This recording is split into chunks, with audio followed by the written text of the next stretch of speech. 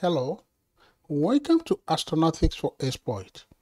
This is Dr. Ayoshala Ogundele.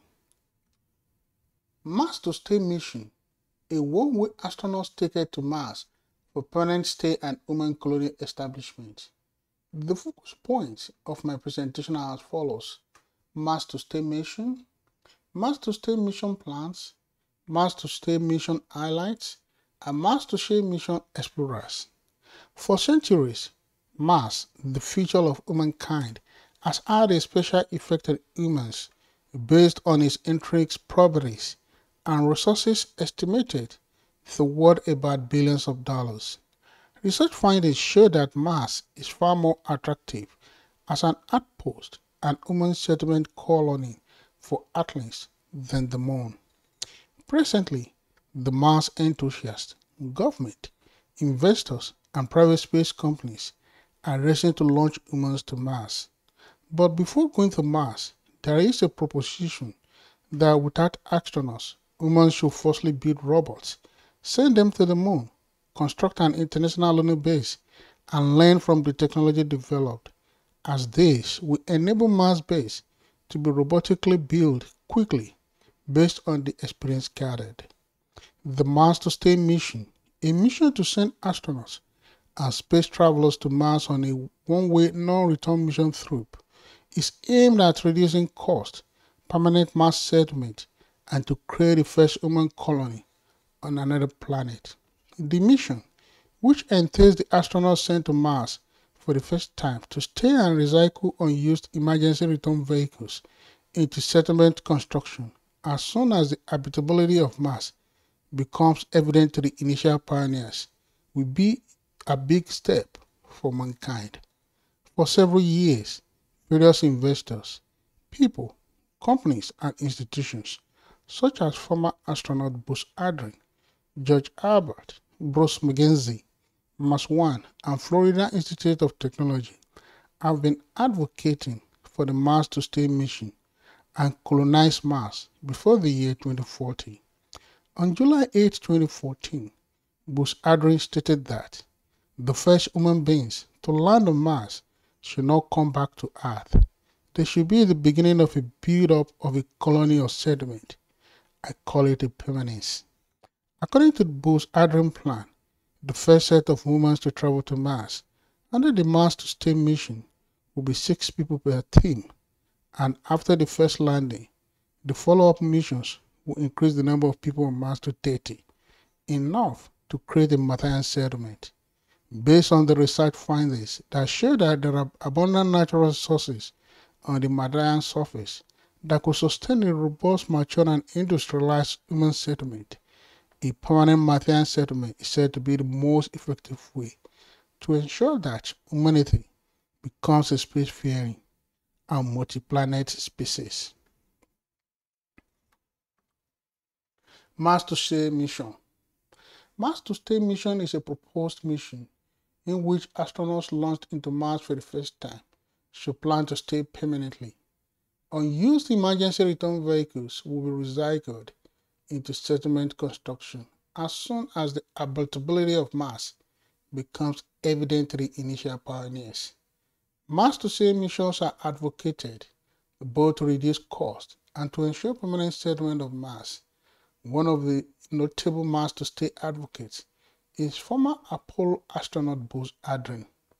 The picture here shows artist concept of a human Mars mission. The aim of Mars to Stay mission is to create first human colony on another planet. It is believed that initially any Martian colony will be partially Earth dependent for centuries and as a result, Mars to Stay astronauts will initially be dependent on Earth. As time progresses, they'll be producing their materials using in situ resources. Illustration of rendezvous and interplanetary stage and lander stage as they come together over Mars is shown in this picture. Mars to stay mission associated risk. Research findings show that radiation and zero gravity are hazardous and will affect Mars to stay astronauts. Zero gravity also presents challenges. Astronauts who have spent extensive time in space are susceptible to the effect of cancer.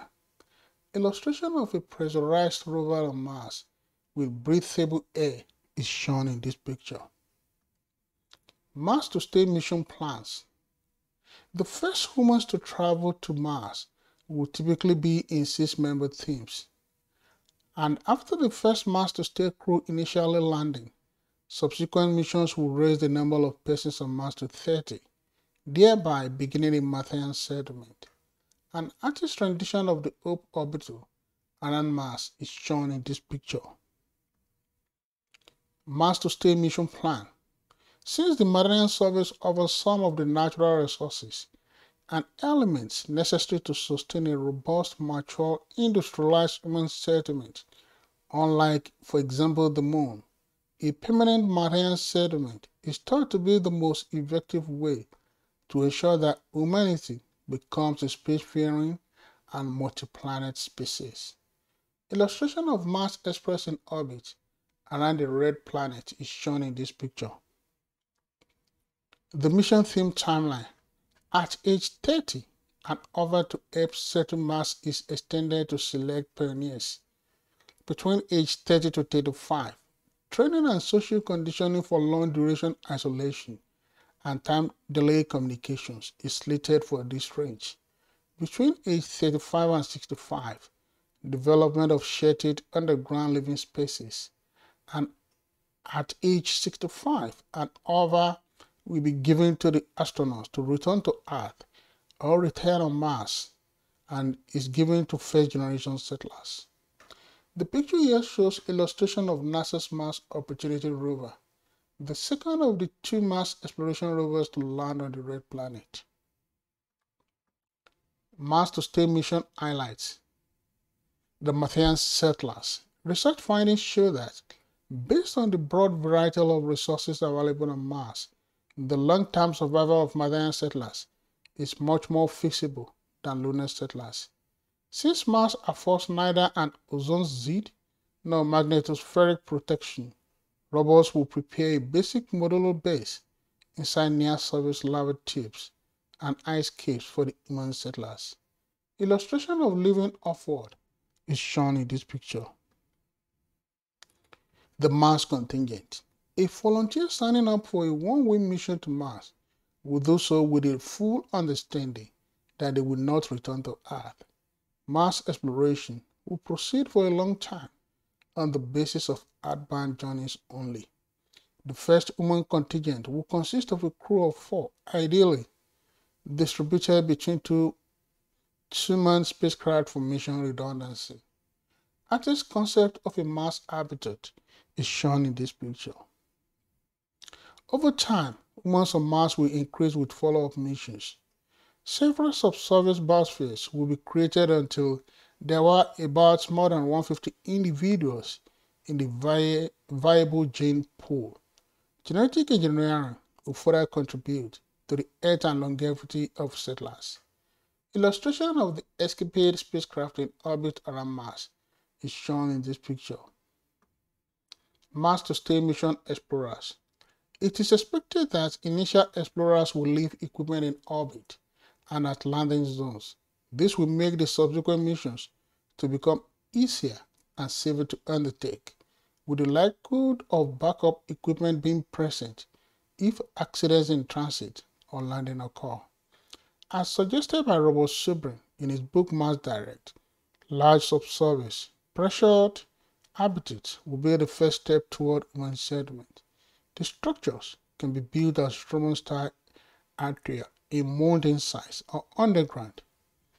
Artist's concept of Nozomi showing the spacecraft in orbit around the red planet shown in this picture. Mars habitat construction. During and after the initial phase of habitat construction, hard plastic radiation and abrasion-resistant geodesic domes could be deployed on the surface for eventual habitation and crop growth. Nascent industry will begin using indigenous resources such as the manufacture of plastics, ceramics, and glass could be easily achieved. Artist's concept of a future Mars mission Soil astronauts near a landing on the red planet is shown in this picture. Mars terraforming. The longer term work of terraforming Mars requires an initial phase of global warming to release atmosphere from the Martian regolith and to create a water cycle. Illustration of astronauts on the Mars performing various activities is shown in this picture. Three methods of global warming are described by Zubrin, who suggests they are best deployed in tandem. And the methods are orbital mirrors to heat the surface, factories on the ground to pump hydrocarbons into the atmosphere, and the shedding of bacteria that can metabolize water, nitrogen, and carbon to produce ammonia and methane. While the work of terraforming Mars is ongoing, robust settlement of Mars will continue during the Mars to Stay mission. An artist's depiction of humans working on Mars is shown in this picture. For more information, contact Astronautics for exploits.